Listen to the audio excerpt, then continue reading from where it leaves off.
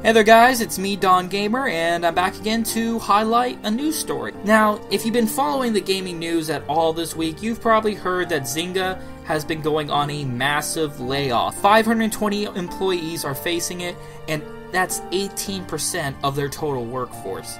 They're closing offices in Los Angeles, New York, and Dallas. That's been around everywhere. You don't need me to tell you about that. What I want to tell you about is a person, a former OMG Pop employee, the guys who worked on the Drawing Something games, who was also, their company was bought by Zynga, had this to say when he got hit with the news about layoffs. Quote unquote, most layoffs are sad. You imagine big corporate settings where security is there to lead people out of the office so they don't make a scene.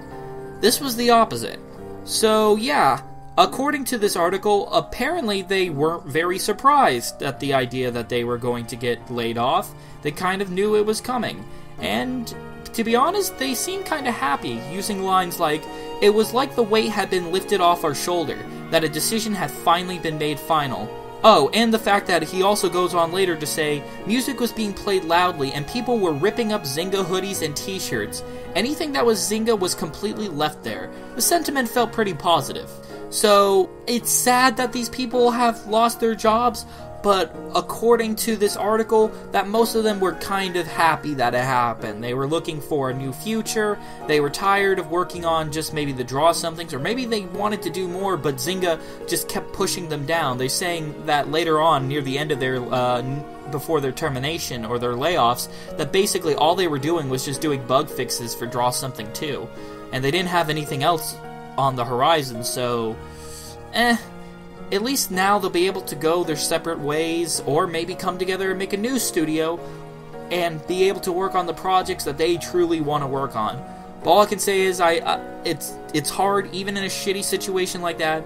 It's hard losing a job, and as someone who wants to become a game designer, I guess I should take something away from this. That it's hard to lose a job, but on sometimes it's some it can sometimes just be a blessing in disguise. So, best of luck to all the people at OMG Pop. Hopefully, you'll find your dream projects somewhere in the Nether Realm. And one more thing I want to highlight is this isn't really a news story, it's just a really interesting blog post. It's called Gaming the System How Gamification Offers a Better Learning Experience. Yeah, it, it's an article just basically um, explaining how to use gaming as a way of education. Now, but there is one thing I want to highlight in this article that I find really interesting.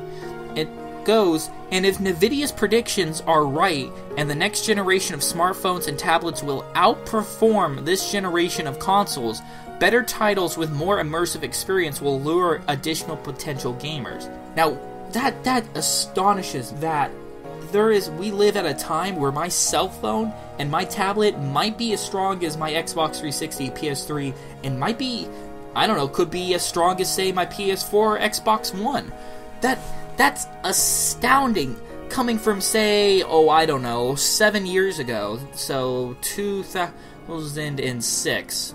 About seven years ago, where I still had my flip phone, and I thought that was the hottest thing ever. I mean, it could go on the internet for like five minutes, and you could text and you could call people, and you could play a very poor version of Pac Man, but that was about it. Now we have cell phones that you could like you have cell phones that like a common person could do a simulation of an airstrike. You have cell phones that you can play games in reality with AR. And now people are using it as a as a teaching tool to teach certain things to people using games. Also highlighted in this article is how um, Autodesk 3ds Max, a 3D animation software, uses game logic as a way to like teach you how to use the program and allure you into buying it, you know, having like a leaderboard with gaining points. And I think that's really cool because I think that's a great way to teach someone how to use this very, very hard project by giving them some sort of competition level. Now, I don't know if there's any sort of benefit of going on to the leaderboard, and I probably won't because I might try the trial, but buying the product, it's about $3,500. I, I, I don't have that kind of bank. But I find it really cool that they're using this sort of like a leaderboard status as maybe a way of teaching people how to use it faster and what they could do with it. It really unlocks creati- creativity through competition. So I think that's really cool. I would give the full article a read because I'm not doing it justice. Anyway, guys, thank you all for listening, and I promise I will have a camera really soon, and I'll probably have a video up explaining who the heck I am. But anyways, if you like this video, by all means, give me a thumbs up or down, tell me how I did, and, you know, leave a comment below. Until next time, I'm Dawn, I'm Dawn Gamer. Later.